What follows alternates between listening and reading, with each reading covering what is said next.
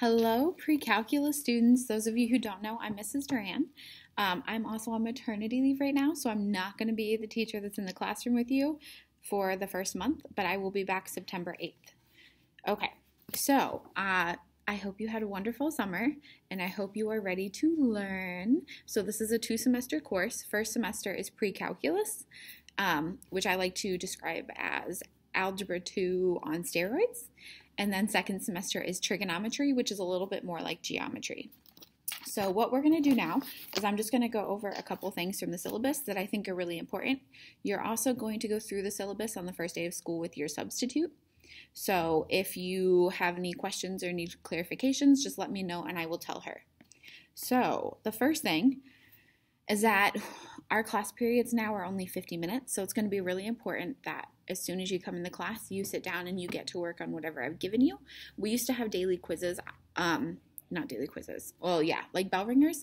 I'm not really sure if we're going to do those again because of the shortened class periods. I might do them some days and not other days, but there's always going to be something that you need to do, whether it's getting ready to to learn the lesson, so look at the notes, or do this problem. There's always going to be something for you to do at the beginning of class. So please come in, take a seat, get ready to learn. Also, you need to come to class prepared. Okay, so you most of you are going to be carrying around backpacks, so you should already have pencil and paper in your computer and your calculator, everything that you're going to need. If you don't have a graphing calculator and you don't have plans to purchase one, you can check one out from me and it will be yours for the duration of the school year but we will talk more about that and the substitute will introduce substitute will introduce that to the class. So just know if you don't have a calculator i have some that you can use okay? So that's not a huge deal. Absolutely no cell phones in class. I'm a math teacher. I have a ton of calculators. There's no reason that you need to get your phone out at any point. You don't need the calculator app and everyone you need to talk to is already in that class or you're going to see them in 50 minutes. So just bear with me. Put your cell phones away. If i have to um, ask you the first time, that's just a warning. Put it away, no problem. If I have to ask you again, I will take it. Third possible time, maybe your parent has to come in and get it. Who knows? Homework is due every day or every other day. Okay, so when the homework is assigned, we'll tell you when it's due. It is due that day. If you don't turn it in that day, there will be a score penalty.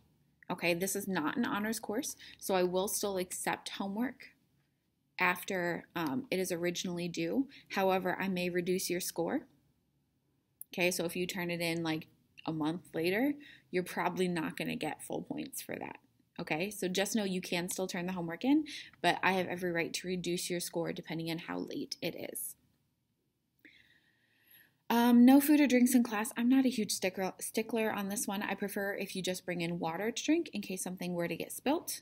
And I don't really want you to bring in like a three course meal, but if you bring in some snacks, that's perfectly fine as long as it's not disruptive to your classmates or to the instruction going on respect your classmates and your teacher. So clearly, don't be talking while myself or the substitute is talking. Or if I'm having one of your peers share, please don't be talking while they're talking. This, I believe, is a fairly small class, so we shouldn't have a lot of disruptions. Just know that. Um, when you're talking, you want them to listen to you. So when we're talking, we want you to listen to us. Materials you need to bring with you every single day. I know I already said it, but your computer and your charger. Don't be that person a pencil and a pen. I like to grade with pens and I like you to take notes with pencils. However, I'm not going to be super strict on that. You do have to have a pen for grading, but you can also do your homework in pen or take notes in pen. That's your choice. You need to have paper with you. I always have loose leaf paper that you can use if you need to. Just know that I can't supply enough for all students all the time. And you need to have a calculator with you of some form. Again, your cell phone doesn't count. If you're absent, since we are doing online virtual learning, everything that we do in class will also be posted online. So if you're absent on Monday, all the resources that the in student in class students are getting are available on Canvas. So there's no reason you can't turn in your homework on Tuesday. Okay, homework is due when you come back. So if you miss Monday and Tuesday, but you come back on Wednesday, all of your homework from Monday and Tuesday is still uh, going to be turned in on Wednesday. If it's not turned in on Wednesday, it is considered late. Okay, so if you have a question, please email me or email your substitute and they might be able to help you as well. Um, even on maternity leave, I will still email back and I will still provide some guidance or some assistance as I can. Okay? Just know that being absent is not an excuse not to have your homework done. Homework with no work shown will not be graded. Okay, so I expect you to have your name on the paper, and I really hope that you're going to put pre calculus just in case it were to get in the wrong bin. But if you don't show work for the problems, I'm not even going to bother grading them. Okay, same goes if we grade it in class. If you just have an answer with no work, you're not going to get the points for that problem. Okay? It is your responsibility to get all of your work done or to um, reach out if you have questions or concerns about anything. We will always do a review before a test. All test grades are final, though. Okay, so you cannot do corrections on tests. You really can't do a retake unless there's some crazy extenuating circumstances, in which case, please talk to me. Your quizzes, typically, I allow corrections on of half credit. Not always, but most of the time. If you miss a quiz or a test, you have two class periods to get that quiz or test made up. And by two class periods, I mean two days. So you either need to come in before school or you need to come in after school because we will not have in class time where you can do it, most likely. Okay. And also, you need to reach out to me about getting that quiz or test done because chances are I'm not going to remember to remind you or email you.